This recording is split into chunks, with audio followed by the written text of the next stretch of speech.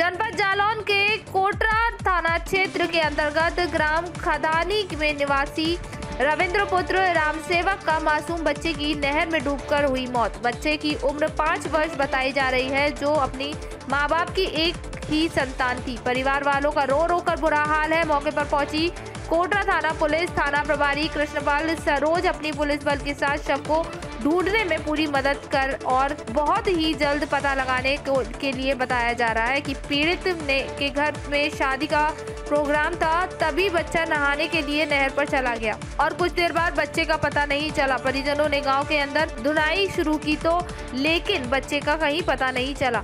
किसी ने बच्चे को नहर की ओर जाते देखा था। उसने परिजनों को बताया कि बच्चा नहर की तरफ़ गया था। यह सुनकर परिजनों ने पुलिस को सूचना दी। सूचना मिलते ही मौके पर पहुँची पुलिस ने बच्चे को ढूँढने की पूरी कोशिश की। पुलिस ने नहर में जलपरी को आया एवं गोताखोरों का उतार कर गोताखोरों ने बड़ी मशक्कत के बाद बच्चे का शव नहर से बाहर निकाला।